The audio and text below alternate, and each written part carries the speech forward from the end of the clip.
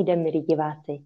Dnešním hostem je prima balerína a lektorka metody Gyrotonic a Gyrokinesis Barbara Kohoutková. Zdravíme.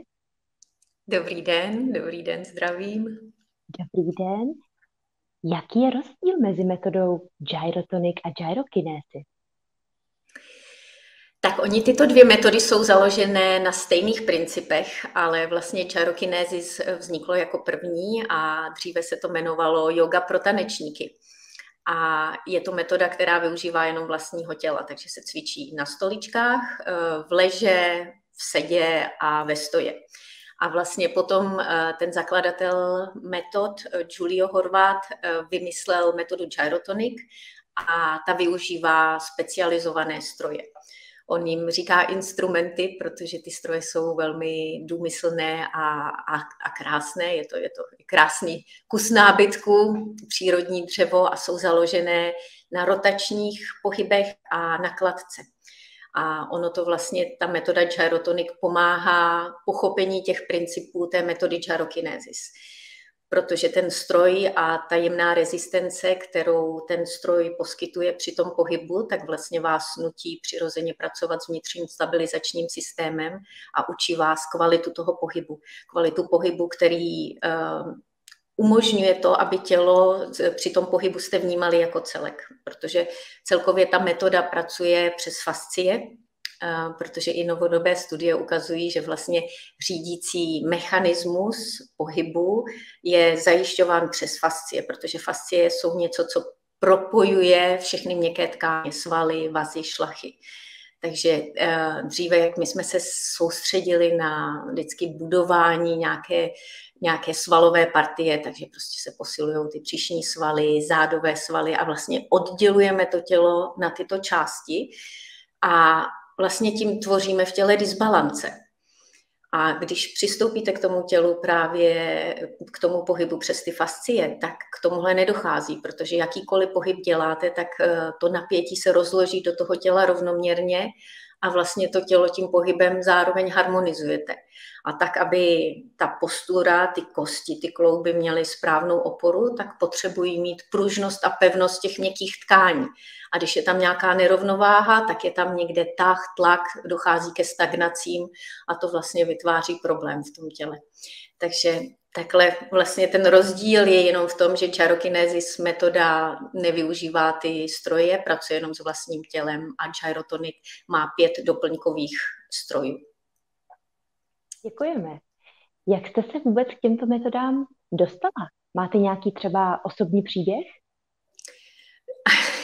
Ano, určitě. Tak jako si myslím, všechno, co v životě má nějaký smysl, tak má za sebou nějaký příběh. A uh, já mám za sebou kariéru prima baleríny a uh, já jsem neměla úplně dokonalé dispozice na balet. Moje tělo bylo esteticky jako hezké pro balet, ale já mám vlastně kyčelní dysplazii, kolení dysplazii, což jsem postupem času zjišťovala, když mi začaly bolesti. Takže jsem se k těmto metodám dostala přes uh, vlastní bolest a hledání cesty, jak vlastně si ulevit té bolesti a zároveň naplnit si ten sen možnosti tancovat a, a být tou baletkou, protože tam jsem cítila tu svoji cestu, když, to, když když jsem tančila, ale eh, potýkala jsem se s mnoha úrazy a, a bolestmi a, a zábranami v tom těle. A já jsem byla vychována také starým systémem, kde všechno šlo prostě přes sílu. Že čím víc síly do toho pohybu dáte, tím ten pohyb bude jako kvalitnější a, a lepší. A postupem času jsem zjišťovala, že to tak opravdu není, ta, eh, že přes sílu ten výkon nepřijde.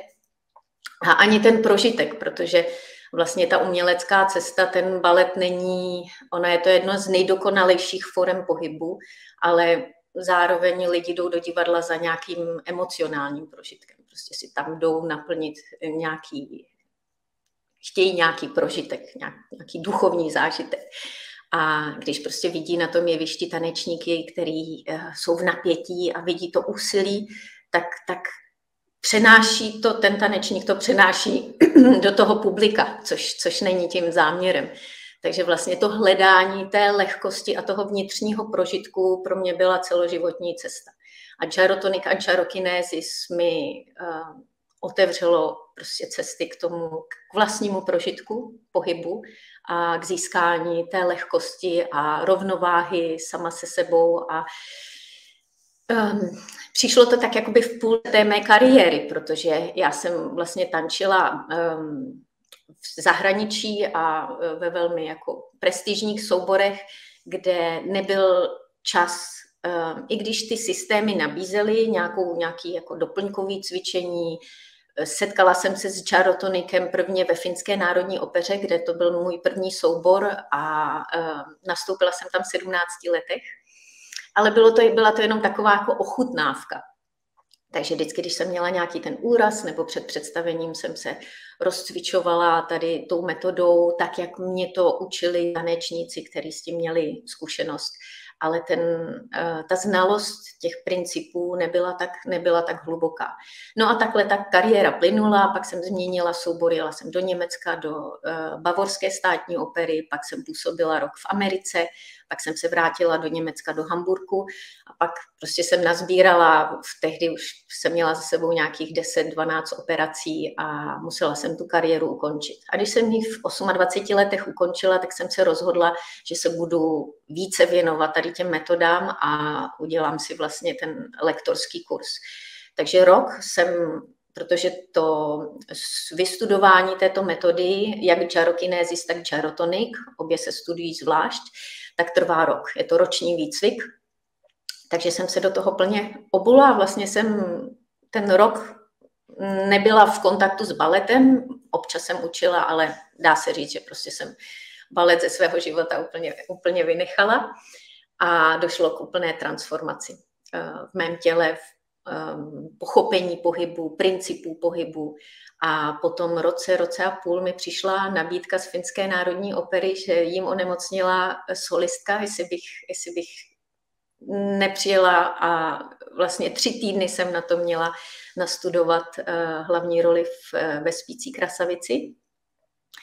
Protože jsem opravdu cítila, že to tělo je uzdravené a vlastně jsem neměla žádné bolesti a žádné zábrany, tak jsem tu výzvu přijala a to odstartovalo vlastně takovou druhou vlnu mé kariéry a vrátila jsem se do toho baletního světa na tu nejvyšší úroveň na volné noze. Už jsem, už jsem nepřijala žádnou, žádnou smlouvu a už jsem si mohla tak jako řídit ten, ten um, program a tu přípravu na, na ta představení sama v souladu se svým tělem. A musím říct, že to byly nejhezčí léta, co se týče toho, toho prožitku stance. A pak jsem tu kariéru znova ukončila těhotenstvím a teď mám pětiletého syna, takže po, po narození mého syna už, už jenom učím balet a věnuji se dál gyrotonika, gyrokinézis. A můj záměr je vlastně opravdu tyto dvě metody, nebo balet a jakýkoliv sport vrcholový, propojovat s těmi znalostmi, protože to gyrotonic poskytuje znalosti o přirozenosti těla, přirozenosti pohybu.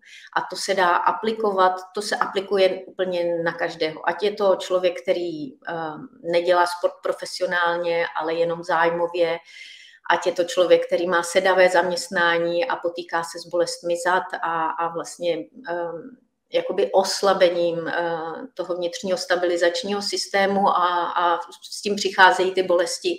A nebo jsou to děti. Strašně ráda pracuji s dětmi, protože i eh, ten náš učitel říká, že děti jsou budoucnost.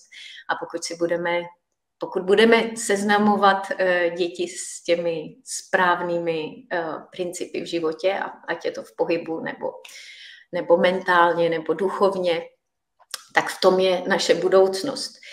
Takže já, když můžu předat ty zkušenosti a um, vidím tam, že ty děti si nebudou muset projít tu složitou cestu toho hledání, kterou se musela jít já, a ty poznatky dostanou na začátku uh, ty jejich cesty, tak mně to přijde velmi, velmi smysluplné.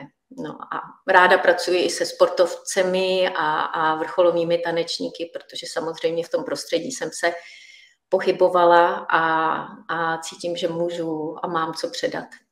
Ale i ve studiu, ve svém studiu mám spoustu lidí, kteří mají práci v kanceláři a opravdu jako jenom uh, chtějí, aby se cítili ve vlastním těle dobře, aby neměli bolesti, aby, musí tam být ten vědomý přístup a ten člověk musí být připraven na to měnit, měnit ty pohybové vzorce, měnit přístup k vlastnímu tělu, protože to gyro je velmi, v tomhle velmi specifické a odlišuje se od jiných pohybových metod, které jsou jako lokalizované a nasměrované jenom na to vybudovat nějakou sílu, um, pocit pevnosti v těle, kontroly.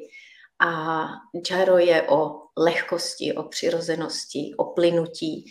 Já bych to přirovnala k, um, jako k esenci. Ono, ono to opravdu jde s evolucí a ten rozdíl mezi gyrotonic a gyrokinesis metodou a třeba jogou nebo pilates je, když si vezmete, yoga je velmi starý systém a je spojený hodně s náboženstvím. A když vznikal, tak vlastně um, styl života byl úplně jiný. Ty, ty, ty lidi byli, měli jiné DNA, jiné přemýšlení, žili v jiném prostředí a um, takže aplikovat to na dnešního člověka, dnešní dobu, na ty vlivy, který, který uh, my jsme vystavováni.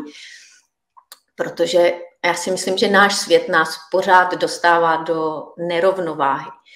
Stres, uh, větší nároky, uh, větší rychlost, pořád jsme v kontaktu s technologiemi, což nás odvádí od, od našeho nitra, od, od sami sebe.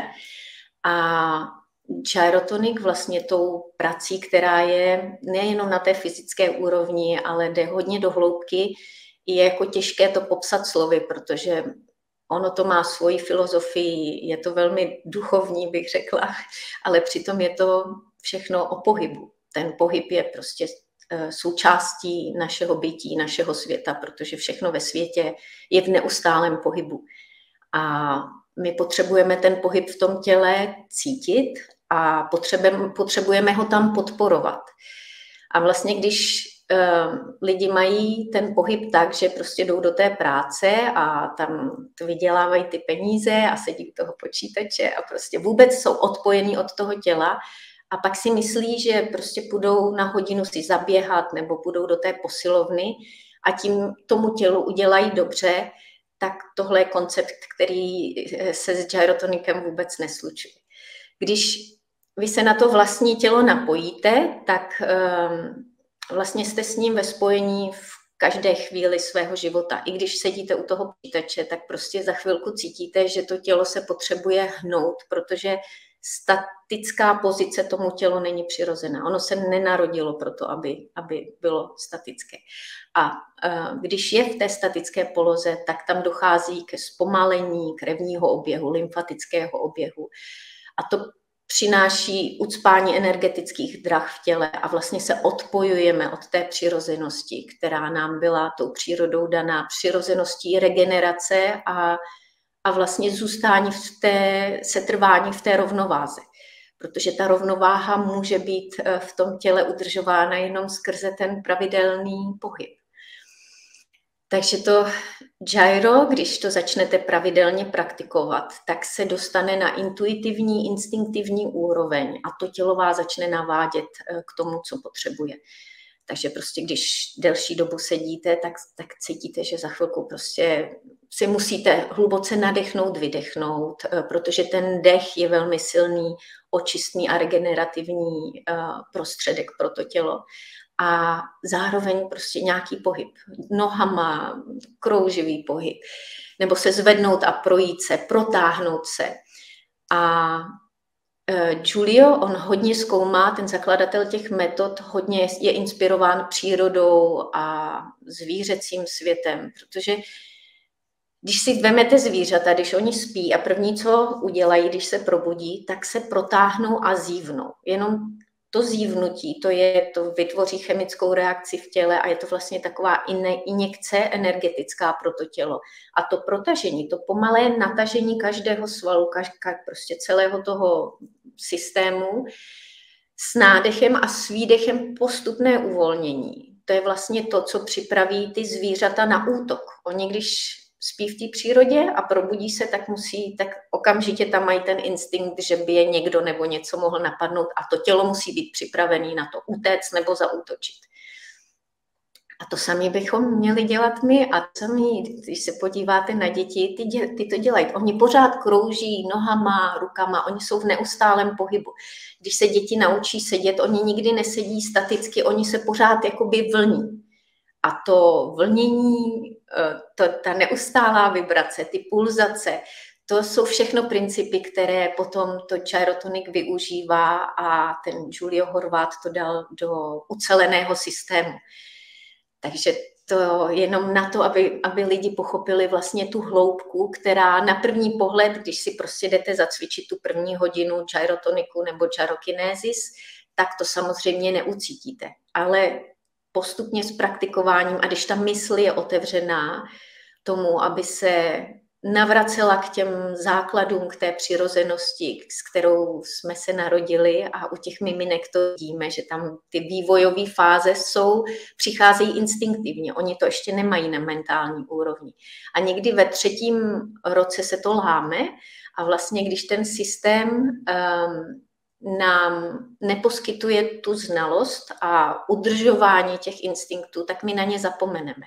A tím vznikají ty špatné pohybové vzorce a už se roz, roz, roztáčí celý ten řetězec toho nabalování těch špatných návyků a stagnací v těle a z toho vznikají různý ty skoliózy, lordózy, prostě eh, propadlý klemby, zborcení toho těla, nebo naopak, když ho přetížíte tím sportem, tak prostě přetížený určitý svalový partie, který vytvoří disbalance a to všechno k bolesti, ehm, k únavě, k úrazům.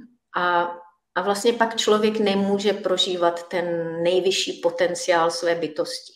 A Jairo se vlastně snaží vlastně přistupovat k lidem jako k individualitám, protože opravdu každý jsme každý jsme unikátní. to je pro mě to fascinující eh, pracovat s klienty, protože kdokoliv ke mně přijde, tak prostě je to unikát, je to jako, není kopie. a um, ten záměr je, aby každý člověk využil ten svůj potenciál a, a mohl ten život prožít v tom těle jako s radostí a, a se spokojeností protože dnešní svět je hodně zaměřený na mentální procesy. Když si vezmeme, kolik technik je na to uvolnit stres, uvolnit napětí, zbavit se karmických zátěží, všechno to pracuje s naší myslí, což je dobře, protože, protože vlastně tahle mysl je velmi důležitá, je to vědomá úroveň, ale my si neuvědomujeme, že druhý mozek je v našem břiše. A to je ten zdroj té energie, toho instinktu a to je ten zdroj, s kterým hodně pracuje gyrotonika, gyrokinesis metoda. A tady ty dva mozky jsou propojený vágus nervem, bloudivým nervem a ten je zase zdroj regenerace všech orgánů v těle. A když si vezmete, kolik pohybových systémů mluví o tom, jak vlastně oslovit ten, tady to propojení, jo, tady tu, tu spojku mezi, mezi mentální úrovní a tou intuitivní úrovní, tím zdrojem té síly, tam je sexuální energie, tam je prostě kořen sakrální oblast a e, to je, to je, to je prostě velmi osvícené, osvícené místo. Ale většina lidí je hodně v té hlavě a vůbec nejsou spojení s tím středem naším a v józe se tomu říká či, využívají to bojové techniky, um, yoga, tak vlastně Chairo to je opravdu ten zdroj, který je velmi silný a je nám dán tou přirozeností, ale není, není to přirozený, abychom ho vnímali a, a správně využívali. Takže Chairo hodně pracuje právě s tím propojením té mentální úrovně a té intuitivní úrovně.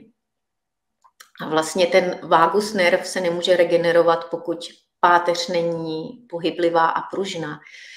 A um, ona příroda nám nedala tu pružnost a pohyblivost mezi obratly, takže bychom se s ní narodili a ona nám zůstala.